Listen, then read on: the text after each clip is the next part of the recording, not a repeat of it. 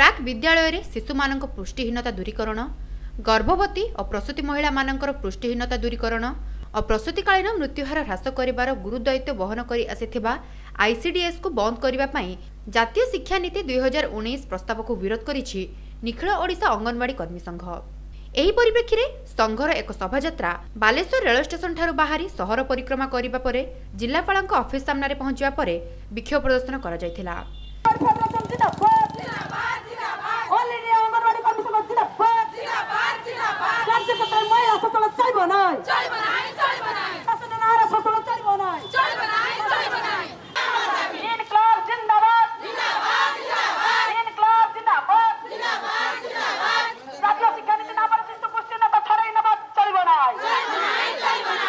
ଏଥିରେ ଜିଲ୍ଲାର ବିଭିନ୍ନ ଅଞ୍ଚଳରୁ ବହୁ ଅଙ୍ଗନବାଡି କର୍ମୀ ସାମିଲ ହୋଇଥିଲେ।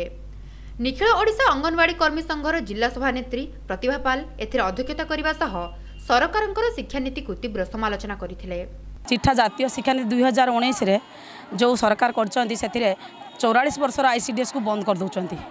ଏବଂ ସେଥିରେ ମହିଳା ଶିଶୁ ବିକାଶର ଯତ୍ନ ନେବାରେ ବାଧା ନିହାତି ସୃଷ୍ଟି କରିବ ତା ସହିତ ଅଙ୍ଗନବାଡ଼ି କର୍ମୀ ମିନି କର୍ମୀ ଓ ସହାୟିକାମାନଙ୍କର ଅ, ଯେଉଁ ଭବିଷ୍ୟତ ଅନ୍ଧାର ଦେଖାଯାଉଛି। ତେଣୁ ଆମେ ତାକୁ ବନ୍ଦ ପ୍ରତ୍ୟାହାର କରିବା ପାଇଁ ଦାବି କରୁଛୁ। ଯଦି ତାକୁ ପ୍ରତ୍ୟାହାର ନ କରନ୍ତି ତାହେଲେ ଅଙ୍ଗନବାଡ଼ି କର୍ମୀମାନଙ୍କୁ ପ୍ରାକ୍ ବି- ଶିକ୍ଷ- ପ୍ରାଥମିକ ବିଦ୍ୟାଳୟର ଶିକ୍ଷୟିତ୍ରୀ ମାନ୍ୟତା ଏବଂ ସହାୟିକାମାନଙ୍କୁ ଆସିଷ୍ଟାଣ୍ଟ ଟିଚରର ମାନ୍ୟତା ଦେବା ପାଇଁ ଆମେ ଦାବି କରୁଛୁ ଏବଂ ଶିକ୍ଷୟିତ୍ରୀମାନେ ଯେଉଁ ପରିମାଣରେ ଦରମା ପାଉଛନ୍ତି ସେହିର ସେହି ହିସାବରେ ଦେବାକୁ ପଡ଼ିବ ଏବଂ ପ୍ରାକ୍ ବିଦ୍ୟାଳୟର ମାନ୍ୟତା ଦେବାକୁ ଦାବି କରୁଛୁ।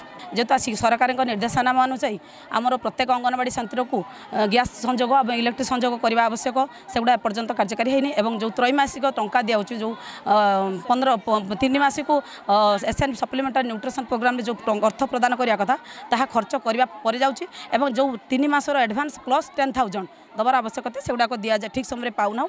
ତେଣୁ ସେଟା ବି ଦାବି ରହିଛି ଏବଂ ଚାଉଳ ଯେତେବେଳେ ଯାଉଛି ବସ୍ତାର ସେତେବେଳେ ତାଙ୍କର ଓଜନ ମେସିନ୍ ବ୍ୟବହାର କରାଯାଉନି। ବିଭିନ୍ନ ବିଭିନ୍ନ କୋଡ଼ିଏ ଦଫା ଦାବି ରହିଛି ଏବଂ ତା ଦାବି ପ୍ରସ୍ତାନ ଆମେ କରିବୁ।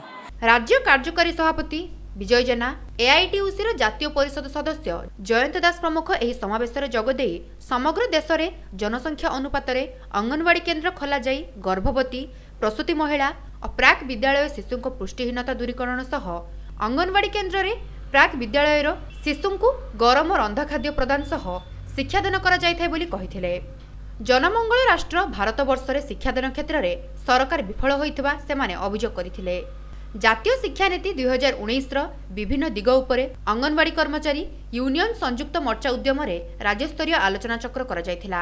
ଶିକ୍ଷାନୀତିର ବିଭିନ୍ନ ଦିଗ ସମ୍ପର୍କରେ ଆଲୋଚନା ପରେ ଏହାର ପ୍ରତ୍ୟାହାର ଦାବିରେ ରାଜ୍ୟବ୍ୟାପୀ ଆନ୍ଦୋଳନ କରାଯାଉଥିବା ସେମାନେ ସୂଚନା ଦେଇଥିଲେ।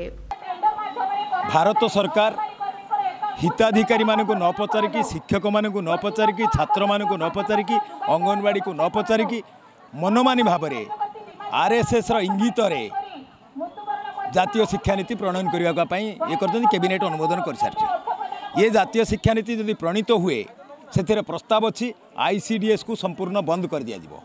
ଅଙ୍ଗନବାଡ଼ି କେନ୍ଦ୍ର ବନ୍ଦ କରିକି ତା'ର ଶିଶୁମାନଙ୍କୁ ପ୍ରାଥମିକ ବିଦ୍ୟାଳୟକୁ ପଠାଯିବ ଏବଂ ସେଥିରେ ପ୍ରକାରାନ୍ତରେ ଇଙ୍ଗିତ ଦିଆଯାଇଛି ଘରୋଇ ସଂସ୍ଥାମାନେ ଯେଉଁ ନର୍ସରୀ ଚଲେଇଛନ୍ତି ପ୍ଲେ ସ୍କୁଲ ଚଲେଇଛନ୍ତି ସେଠିକି ପଠାଇବା ପାଇଁ ଷଡ଼ଯନ୍ତ୍ର କରୁଛନ୍ତି ତେଣୁ ଏ ଷଡ଼ଯନ୍ତ୍ର ବିରୁଦ୍ଧରେ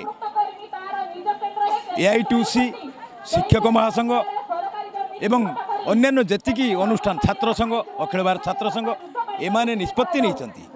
ଏ ଜାତୀୟ ଶିକ୍ଷାନୀତି ଦୁଇ ହଜାର ଉଣେଇଶ ୟାକୁ ପ୍ରତ୍ୟାହାର କର। ପ୍ରତ୍ୟାହାର କେଉଁଥିପାଇଁ କରିବେ? ନା ଏଥିରେ ଶିଶୁମାନଙ୍କ ପୁଷ୍ଟିହୀନତା ଦୂରୀକରଣ ବନ୍ଦ ହୋଇଯିବ। ଗର୍ଭବତୀ ପ୍ରସୂତି ମହିଳାମାନଙ୍କର ପୁଷ୍ଟିହୀନତା ଦୂରୀକରଣ ବନ୍ଦ ହୋଇଯିବ ଏବଂ ଏକ ବିକଳାଙ୍ଗ ରାଷ୍ଟ୍ର ତିଆରି ହେବ। ତେଣୁ କେନ୍ଦ୍ର ସରକାରଙ୍କୁ ପ୍ରଧାନମନ୍ତ୍ରୀଙ୍କୁ ଆଜି ଦାବିପତ୍ର ଉପସ୍ଥାପନ କରାହେଉଛି। ଆମେ ଆଶା କରୁଛୁ ସରକାର ଆକୁ ସହୃଦୟତାର ସହ ବିଚାର କରିବେ ବିଚାର କରିକି ଇଏ ଜାତୀୟ ଶିକ୍ଷାନୀତି ପରିବର୍ତ୍ତନ କରିକି ୟାକୁ ଗ୍ରହଣ କରିବେ। ଆଜିର ରାଲିର ମୁଖ୍ୟ ହେଉଛି ଏ ଯେ କେନ୍ଦ୍ର ସରକାର ଜାତୀୟ ଶିକ୍ଷାନୀତି ଦୁଇ ହଜାର ଉଣେଇଶ ନାଁରେ ଅଙ୍ଗନବାଡ଼ି କେନ୍ଦ୍ରଗୁଡ଼ିକୁ ପ୍ରାକ୍ ବିଦ୍ୟାଳୟରେ ମିଶାଇ ଏମାନେ ଅଙ୍ଗନବାଡ଼ି କେନ୍ଦ୍ରଗୁଡ଼ିକୁ ବନ୍ଦ କରିବା ପାଇଁ ଅପଚେଷ୍ଟା କରିଛନ୍ତି। ଏହା ବିରୁଦ୍ଧରେ ଆଜିର ସମଗ୍ର ଓଡ଼ିଶାର ଆନ୍ଦୋଳନ ହେଉଛି ଦାବିପତ୍ର ଦିଆହେଉଛି ସିଡ଼ିଓମାନଙ୍କ ଜରିଆରେ କଲେକ୍ଟରମାନଙ୍କ ଜରିଆରେ। ଏଥିରେ ମୁଖ୍ୟ ଦାବି ହେଉଛି ଯେ ଅଙ୍ଗନବାଡ଼ି କେନ୍ଦ୍ରଗୁଡ଼ିକୁ ପ୍ରାଥମିକ ବିଦ୍ୟାଳୟର ମାନ୍ୟତା ଦେବା ଅଙ୍ଗନବାଡ଼ି କର୍ମୀ ମିନି ଅଙ୍ଗନବାଡ଼ି କର୍ମୀମାନଙ୍କୁ ଟିଚର ଶିକ୍ଷକର ମାନ୍ୟତା ଦେବା ସହାୟିକାମାନଙ୍କୁ ସହାୟିକା ଟିଚର ମାନ୍ୟତା ଦେବା ଏବଂ ଶିକ୍ଷକମାନଙ୍କ ପାଉଥିବା ପ୍ରାଥମିକ ଶିକ୍ଷକମାନେ ପାଉଥିବା ଦରମା ହାରରେ ଅଙ୍ଗନବାଡ଼ିକୁ ଅଙ୍ଗନବାଡ଼ି ଶିକ୍ଷକ ହେଲ୍ପରମାନଙ୍କୁ ଭତ୍ତା ଦେବା ସର୍ବୋପରି ଯେଉଁ କମ୍ୟୁନିଟି କିଚେନ୍ ନାଁରେ ନନ୍ଦୀ ଫାଉଣ୍ଡେସନ୍ ଭଳି ବଡ଼ ବଡ଼ କମ୍ପାନୀକୁ ଯେଉଁ ମଧ୍ୟାହ୍ନ ଭୋଜନ ଏବଂ ରନ୍ଧନ ଖାଦ୍ୟ ଦିଆଯାଉଛି ଏକୁ ଆମେ ସର୍ବାନ୍ତ ବିରୋଧ କରୁଛୁ ଏବଂ ଆଇ ସି ସ୍ୱତନ୍ତ୍ର ମାନ୍ୟତା କରାଯାଇ ଏହାକୁ ସମଗ୍ର ଚାଳିଶ ବର୍ଷ ହେଲା ଚାଲିଛି ଏହାର ସ୍ଥାୟୀ କରାଯାଉ ଏ ହେଉଛି ଆଜିର ମୁଖ୍ୟ ଦାବି। ଏହି ସାମଗ୍ରିକ ସମସ୍ୟାକୁ ନେଇ କେନ୍ଦ୍ରୀୟ ଟ୍ରେଡ୍ ୟୁନିୟନ ସଂଗଠନମାନଙ୍କ ଆହ୍ୱାନରେ ଆସନ୍ତା ଜାନୁଆରୀ ମାସ ଆଠ ତାରିଖରେ ଦେଶବ୍ୟାପୀ ହେବାକୁ ଥିବା ଧର୍ମଘଟକୁ ସଫଳ କରିବା ପାଇଁ ଆହ୍ୱାନ ଦେଇଥିଲେ। সবসক্রাইব করন্তু সংকেত টিভির ইউট্যুব চ্যানেলকু এবং বেল আইকনকু দবান্তু তাজা নিউজ সবুঠার আগে দেখিবা পাই।